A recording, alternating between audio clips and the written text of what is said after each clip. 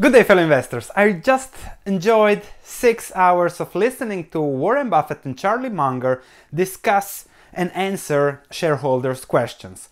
However, to save you six hours, I decided to just go through my notes and uh, share you in a summarized time what went on and what I think are the key investing points from the latest conference. If you like such an investment mindset focused on Buffett and Munger, please subscribe to this channel and smash that like button. So let's start with the content so that you don't lose much time.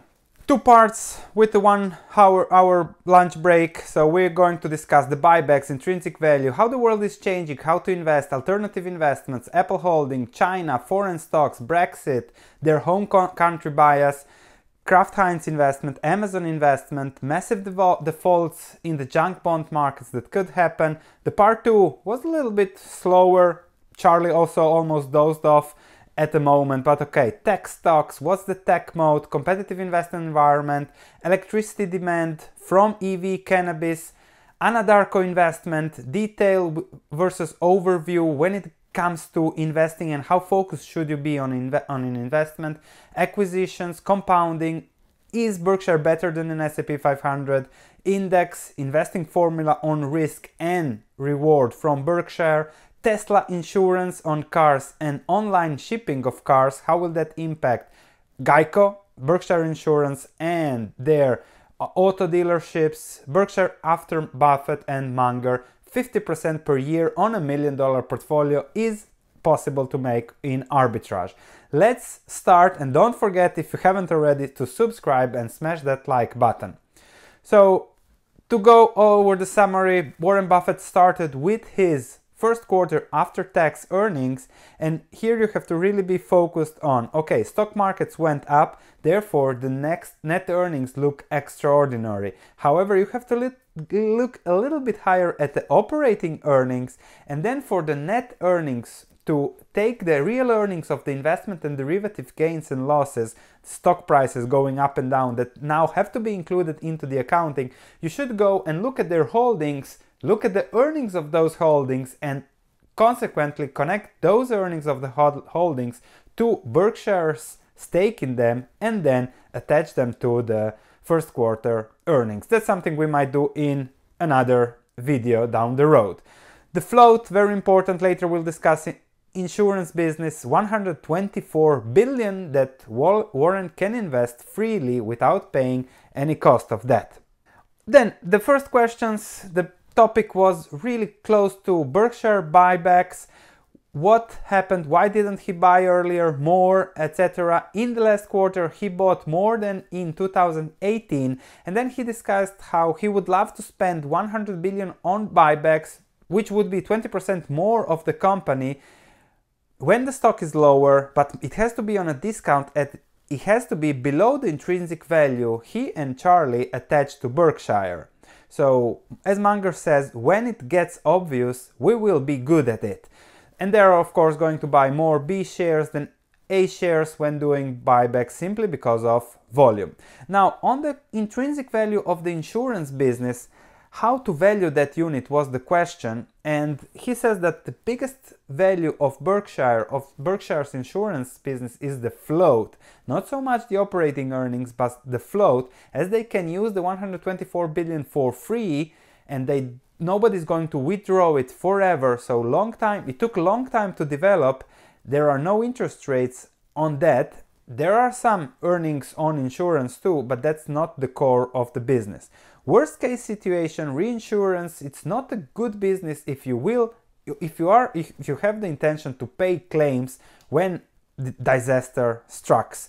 So they are keeping the capital required, invested it around in investments that have good returns, Buffett investments, and therefore Berkshire is the ideal form to own such insurance businesses. All big reinsurers globally almost went bust in the last 30 years without a worst case scenario. So it's key the structure Berkshire insurance capital requirements the cash Berkshire has is key in having such a business. Not a good standalone business insurance is. How the world is changing, 5G moat challenge, businesses will de- deal with that on an individual basis. Internet infrastructure, furniture, impacting internet online furniture sales, impacting Nebraska Furniture Mart. That is a competitive, but then again, the business itself will deal with it. And then going on to alternative investments, he discussed how private equity, closed end funds actually have low long term returns because there is a trillion committed to buying such assets on leverage, which means 3 trillion chase private equity investments, supply demand is not positive, and it has changed from 30 40 years ago. So, proposals that they get and the returns are not calculated honest, honestly. So be careful with those new IPOs, and also pension funds have to be careful where they invest their money. You have to check the motivation of the people who are selling such products because if they get 1% on a million, that's a huge amount of money for them, and that's usually their top priority motivation. Lying a little bit to make the money is what Munger says. Apple Holding, the problem for Buffett and Munger is that the stock has gone up 100 billion in buybacks.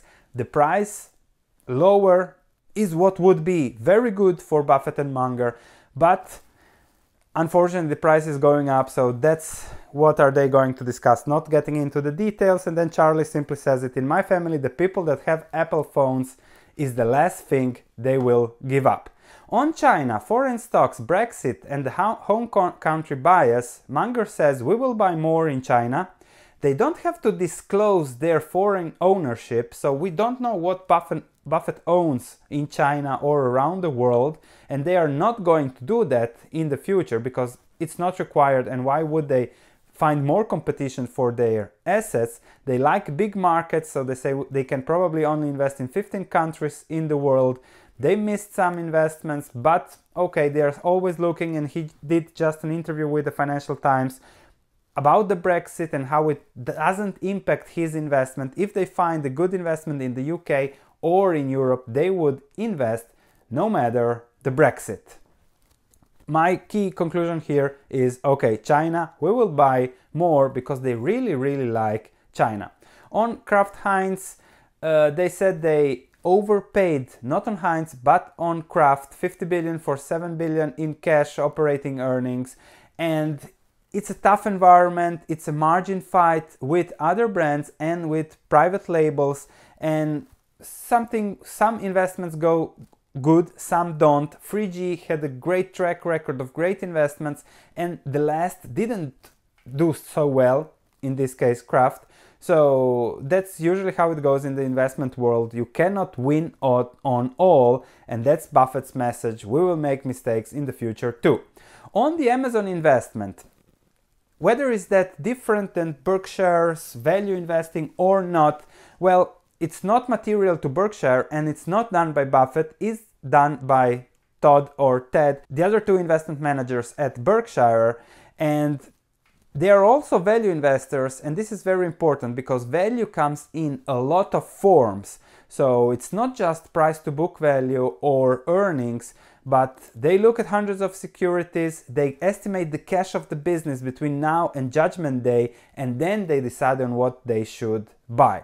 So it is about risk and reward. Obviously, for one of those investment managers, Ted or Todd, the risk reward of Amazon was better than other things they had on their plates. Uh, uh, Charlie describes Amazon as a pass, as Bezos is really mir- miracle worker, but Google for them was a big miss because they were using Google Ads for Geico ads. They were seeing what were they paying in relation to the costs, and they didn't buy big on Apple. On succession planning, Ted Todd, they're just investment managers Ajit Jain, Greg Abel are the operating managers, so they are very happy with what is there and they really hope that Berkshire will remain peculiar as it is, being different and this works better, so as Charlie says, sticks to us. On the massive defaults in the junk bond markets, they say it's usual to have people like Ted and Todd analyzing what is going into default and what's the value of the defaulted asset so that they can buy it like they bought the assets in Canada. So that's why they have cash. They know how to behave in panic, and that's a great value of Berkshire as it is and as it will be in the future. Tech stocks, the tech moat, Munger says maybe we should invest, maybe we shouldn't. Uh, Buffett says we will not go into something just because somebody else is doing that. Most other people are doing that. And he says how we missed a lot and we will miss a lot of them in the future. That's not a problem as long as what we hit on is good. The competitive investment environment, building a circle of competence, you need to do a lot of reading and learn as much as you can about as many businesses and focus on those, where you can know more than your investment competitors. Find small areas, don't act too often, and wait for the perfect pitch, Buffett would say. Know one thing very well, it will give you an edge at some point in time. And this is something so crucial. I see so many investors oh chasing investments around the world. What do you think about this stock, When? What do you think about that stock? And I am more as more as more and more research that I do as more I learn more, I see okay, I need to find a sector. Okay, I know a lot about mining, let's say copper mining, and then I simply have to wait for those stocks to come to me when there is practically no risk and huge upside. If you find five sectors like that and you wait a decade for those stocks to hit your risk reward, you will have 5, 10 transactions over a decade and you will make huge amounts because the risk is low and the upside is unlimited. So that's what Buffett is doing and this is where I think the circle of competence is really so important. On electricity demand from electrical vehicles, cannabis, Greg said, and there's Bill Gates in the corner there, how they are investing. It's a long term process from projects to development in the energy field. They are investing, they are investing the most in the USA. So they're really focused, not paying dividends like other energy companies. So they're really focused on doing really well. So we will put a lot of money into energy. And one way of doing that is the Anadarko investment, just a question at the end of the conference call where Warren Buffett commits 10 billion to Occidental for the acquisition of that. But this is a typical Buffett deal, no risk, huge upside. He will receive 100,000 shares of cumulative perpetual preferred stock with a liquidation value of 100,000, there you have the 10 billion, with an annual 8% dividend. He can redeem those shares whenever he wants and or he can hold them. If those shares explode, he will just hold the shares and get even more of his return of investment. So he practically can't lose. Plus, he will also receive warrants to purchase up to 80 million shares of common stock with an exercise price of 62.50 per share. Receive warrants. So again, no risk. If Occidental's stocks explodes, it's a huge win for him. And he says that he would love to spend 100 billion on such deals. Of course, these are deals that have very little risk and huge upside. Charlie said, I like it. On investing in detail, knowing about something very closely, every detail, versus having a good overview of the important things, he says that you might miss the big picture when focusing on details. If you know in detail the textile business in the 1970s, it wouldn't help you. It was a terrible investment. It might be interesting to an analyst, but little help to shareholders. So always be careful when listening to analysts that know what's going on very, very well. On acquisitions, other people are paying what we would not. So they are leveraged, they have no downside and total upside. We will not be like everybody else. So that's the problem why they are not shooting that big elephant gun because everybody else is chasing those assets and paying too much. Compounding, they are slowing down to size but will do well. What is better, the S&P 500 or Berkshire Hathaway? Corporate tax on stocks is a downer for Berkshire, but they say that if there is another bull market like this one, they will probably underperform, but if there is a bear market, they will outperform. So think about that whether you are considering investing in Berkshire or the S&P 500. Buffett says his estates will have nothing but Berkshire Message to trustees ignore diversification, keep in Berkshire. Charlie, I don't own any indexes. You need free stocks, not 50, if you know what you're doing. So, this is a clear message against index funds. owned Berkshire Hathaway or something better, something smaller where you can compound faster. On what is their investment formula on risk and reward, he simply says they haven't got one. It's uh, really being careful about accounting adjustments, being careful about formulas, and really understanding the business. At the end, there was the Tesla insurance car competition and online shipping from Tesla.